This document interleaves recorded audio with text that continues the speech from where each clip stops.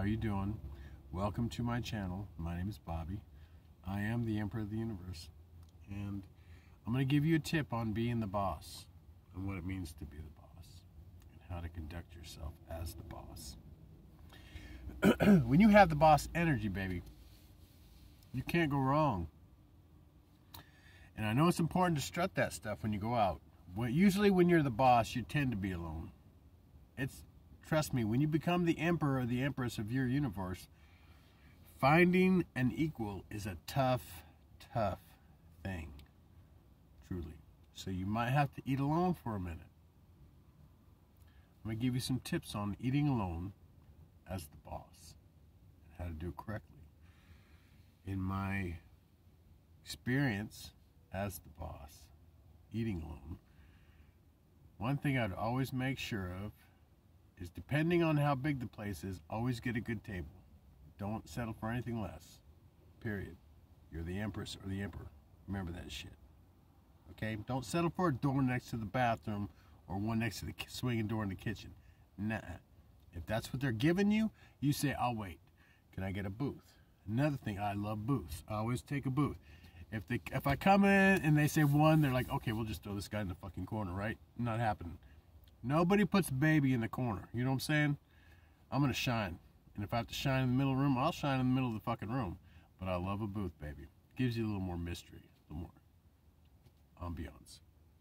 Point two.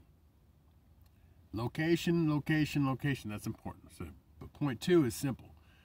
Your waiter or waitress is going to be your contact for the night your social interaction. So, first of all, from the get go, you shower them with praise. You want them to be happy that you're there sitting alone. A lot of times, waiter and waitresses they tend to cons- be concerned about the lone person because that's less of a tip, less people eating. You see what I'm saying? So that, for them, a lot of times it's a, it's a drain on their energy because the bigger the table they're serving, the more money they make which is why I always say tip your waiters, waiters and waitresses generously. I always do 20% or more, 25. If I'm paying for a $30 ticket, $40 ticket, they're they're getting 15 bucks, 20 bucks, don't matter.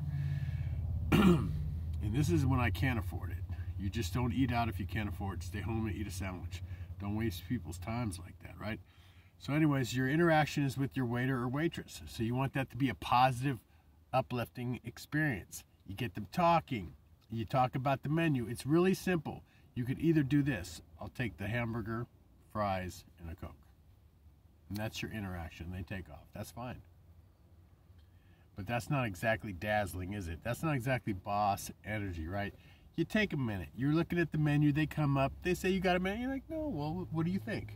You start interacting. You start engaging. You know what? What's their favorite thing on the menu? What would they recommend? little that, little this. You get it, you get it light, you get it fluffy. You get them to laugh for a second, right? And then they skip on and do their thing, and you get a drink. The reason why I'm saying this is because the whole time you're sitting in that room, surrounded by people doing their thing, they're watching you. You know they're watching you. They're thinking that either this is the biggest sap in the room. How sad. Oh, by themselves. No.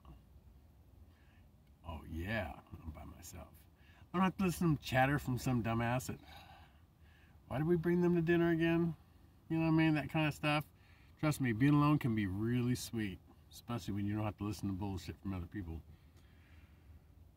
so when you're standing there in your awe, in your awesomeness, and when you're flirting with the waiter, waitress or waiter, and you're light and you're fluffy and you're smiling, that's not a downer. That's they don't come and they go, look at this guy just like moping and shit. You're sitting there, wah, wah, wah. I can see that, right?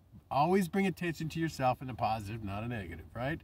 So you're in the middle of this room, you're by yourself, you're eating alone, but you're shining. And you got the waitress or waiter laughing and giggling. They're excited to come back to see what you're gonna order, right? Maybe get a dessert. and then you shine, baby, because everybody in that room is going to be like this person. Now, I would never eat alone. Most people wouldn't, because most people aren't empresses or emperors, are they? Hey, not. It takes a lot to be the boss, baby. You got to pay the cost. You know what I'm saying? And Daddy's paid the cost, and he is the boss. So I just want to let you in on that. That's just my little tips for eating out as the boss. Feel free to pick a booth. Don't be afraid to, to, to say no to a table. If they bring you to a table and you don't like the table, you say no to the fucking table. You say, Daddy, don't want this table because you got another table. You got a booth. If they say, well, we don't have a booth available at this moment, you what you do is you look at them and say, I will wait. Because I'm worth that fucking booth. Like I said, you don't nobody puts baby in the corner, right? Anyway. Live it, love it, learn it, be the boss, because you are the boss. Walk it, talk it, baby. And tip well. I mean, leave that person going, damn, I hope they come back again. Right? Okay. Have a wonderful day. Okay, bye.